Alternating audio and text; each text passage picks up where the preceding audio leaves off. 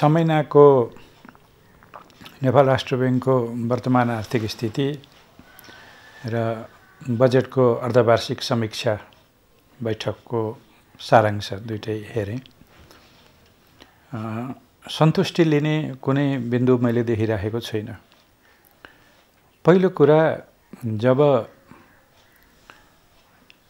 छ महिनामै झन्डै अढाई खर्ब दुई खर्ब एकचालिस अर्बको शोधनान्तर घाटा हुन्छ र त्यसमा सुधार गर्ने हामी तत्कालै कदम चाल्ने सरकारका कदमहरू पनि देखिराखेको छैन। सामान्यत केही वस्तुहरूको आयात रोक्ने कुराहरू जुन अत्यन्त अल्पकालीन मात्रै उपायहरू हुन् संरचनात्मक कुनै कुरामा ध्यान गएको जस्तो म देख्दिनँ।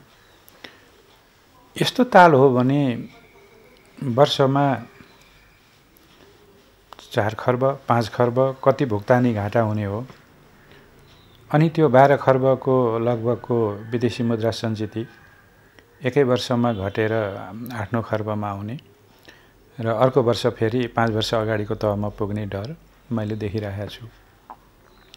सानोतिनो ब्यालेन्स अफ पेमेन्ट भुक्तानीको घाटा कहिलेकाहीँ हुनु स्वाभाविक हो। तर जुन प्रकारले हामी आयातलाई खुकुलो गऱ्यौँ खास गरी लोकप्रियवादी त्यो हुन्छ नि लोकप्रिय हुने ना नाममा जे पनि खुकुलो गर्ने जे पनि खुकुलो गर्ने सबै छोडिदिने अनि वाइ वाइ कमाउने अनि छोटो समय निर्णय गर्ने अनि भागिहाल्ने अनि अर्थतन्त्रलाई अप्ठ्यारोमा पार्ने। यो प्रवृत्ति देखिएको छ सरकारमा बस्नेहरूको।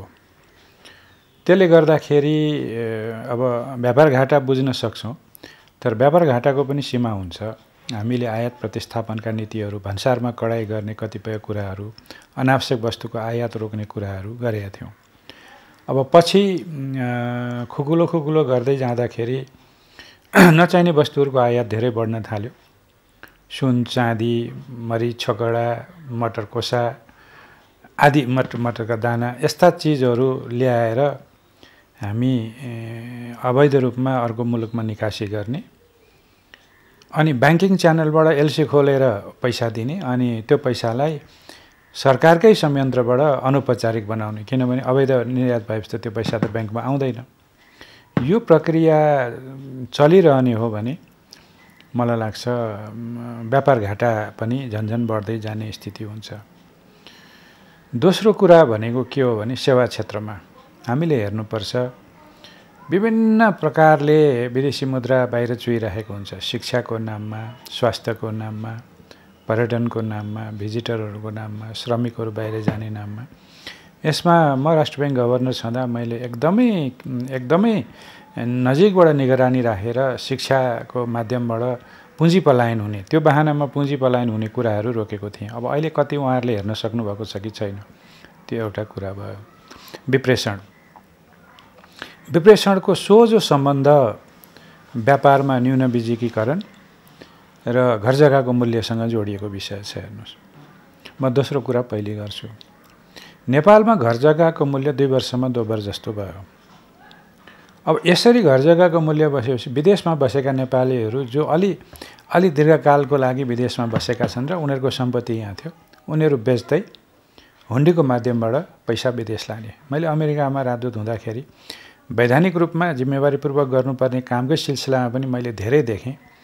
यति धेरै चाहिँ जग्गा जमिन बेच्ने घर बेच्ने वारेसनामा गराउन आउनुहुन्थ्यो व्यक्तिहरू र उहाँहरूको मनोविज्ञान के हो भने अब हामीले वारेसनामा दिने कुरा रोक्ने कुरो भएन र सम्झाउने कुरा चाहिँ थियो कि नेपालमा सम्पत्ति बेचेर अमेरिकामा पैसा ल्याउन पाइँदैन है भनेर मैले प्रत्येकलाई भने। तर मैले भन्नु त एउटा कुरो हो तर मान्छेहरूले सम्पत्ति बेचेर उता घर जग्गा सस्तो छ यहाँभन्दा यहाँ घर जग्गाको पैसाले त्यहाँ धेरै राम्रो सम्पत्ति जोड्न सकिन्छ मान्छेले त्यो गरिरहेका छन्। त्यसलाई रोक्न पनि हामीले सकिरहेका छैनौँ।